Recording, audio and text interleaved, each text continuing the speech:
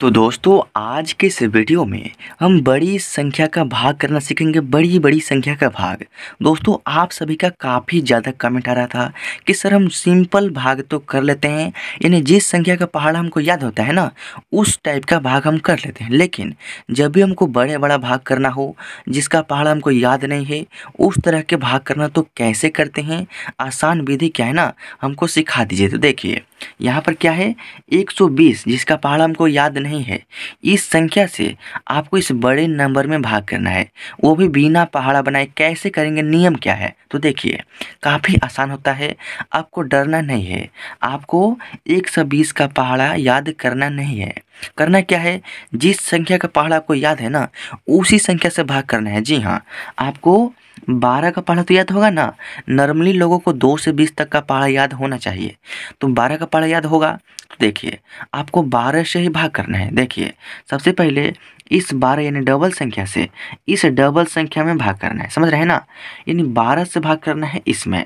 तो चलिए बारह का पहाड़ा पढ़ते हैं, कितने बार में चौदह आता है? तो देखिए, बारह कम बारह बारह दोनों के चौबीस। चौबीस तो चौदह से काफ़ी अधिक हो गया। तो हमको अधिक नहीं लाना है। इस चौदह के बराबर या चौदह से थोड़ा से कम लाना है, चौदह से अधिक नहीं होना चाहिए बारह के ही पहाड़ा में। तो बारह, एक कम बारह, यानी एक बार में बारह आ रहा है, जो कि चौदह से थोड़ा सा कम है। तो हमको यहाँ पर लिखना होगा एक। अब देखिए, हमको यहाँ पर बारह डायरेक्ट नहीं लिखना है। इस एक से इन संख्याओं में गुना करके यहाँ पर लिखना है। तो जब एक से गुना करेंगे इस ज़ीरो में तो ज़ीरो होगा, जो कि इस संख्या के सामने आपको लिखना है। जो कि यहाँ पर तीन संख्या है ना तो इन तीनों संख्याओं को सामने दाहिने साइड से लिखना स्टार्ट करेंगे।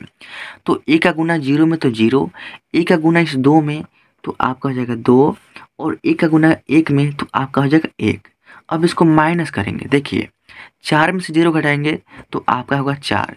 चार में से दो घटाएँगे तो आपका हो जाएगा दो, एक में से घटाएँगे तो ये आपका कट जाएगा। कट गया ना? अब देखिए, करना क्या है? इसके बाद क्या है? छः। तो इस छः को आपको यहाँ पर उतार देना है। अब देखिए फिर इस बारह से भाग करना डबल संख्या से भाग करना है इस डबल संख्या में। तो बारह के पहाड़ में डबल संख्या चौबीस जो है ना, दो बार में आएगा।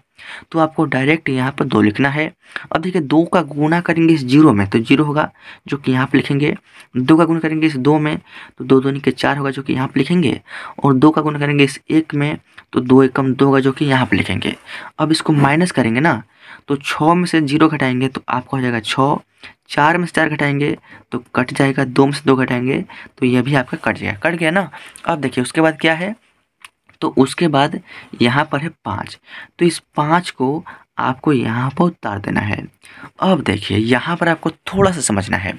यहाँ पर क्या है? 120 है और इससे काफ़ी कम संख्या है पैंसठ। तो क्या 120 से पैंसठ में भाग लगेगा? नहीं लगेगा। तो यहाँ पर हमको करना क्या होगा? इस पाँच के बाद वाला जो नंबर है ना, इसको भी हमको यहीं पर उतार देना होगा। इस चार को भी हम यहीं पर उतारेंगे। लेकिन जैसे ही हम डबल संख्या एक साथ एक जगह उतारेंगे तो उसके लिए सबसे पहले हमको यहाँ पर ज़ीरो लगाना होता है। ये आपको पता होगा। अब देखिए, यहाँ पर हमारा तीन संख्या आ गया। तो इस डबल संख्या से इस डबल संख्या में भाग करना है। तो जब बारह से भाग करेंगे पैंसठ में तो कितना होगा देखिए? बारह कम बारह बारह दूनी की चौबीस, बारह तेरह की छत्तीस, बारह छः अड़तालीस, बारह पंजे साठ, बारह छके बहत्तर। तो बहत्तर तो काफ़ी अधिक हो गया। तो बारह पंजे साठ, यानी पाँच बारह में साठ आ रहा है ना? तो हमको यहाँ पर लिखना होगा पाँच। साठ आ रहा था जो कि पैंसठ से थोड़ा सा कम है तो नियम यही ना होता है कि इसके बराबर इससे कम लाइए। तो बारह पंज होगा साठ, जो कि पैंसठ से थोड़ा सा कम आ रहा है। अब देखिए, इस पाँच से इन संख्याओं में गुना करके हम यहाँ पर लिखेंगे। तो जब पाँच का गुना करेंगे इस ज़ीरो में तो आपका होगा ज़ीरो। पाँच का गुना दो में तो पाँच गुना दस का ज़ीरो हार्सिन वन।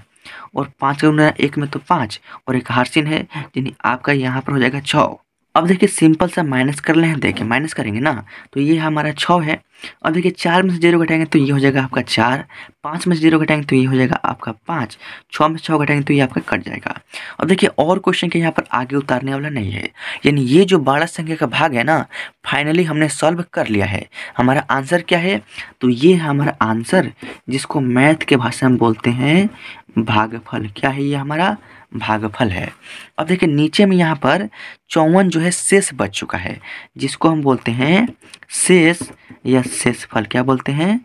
शेष या शेषफल। अब देखिए, चौवन जो है, हमारा शेषफल है। अब जिस संख्या से हमने भाग किया है ना, ये है हमारा भाजक। और जिस संख्या में भाग किया इस पूरे संख्या को बोलते हैं भाज्य या भाज्य। यानी इस पूरे संख्या को भाज्य, इसको भागफल, इसको भाजक, और नीचे में जो कुछ बच जाए, इसको हम बोलते हैं शेषफल।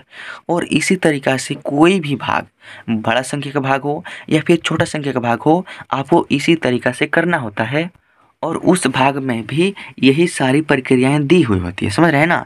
तो आई होप कि इस वीडियो के माध्यम से, इस वीडियो को देखने के बाद अगर आपके सामने आगे कोई भी बड़ा संख्या का भाग आता है तो आप उसको कर लेंगे।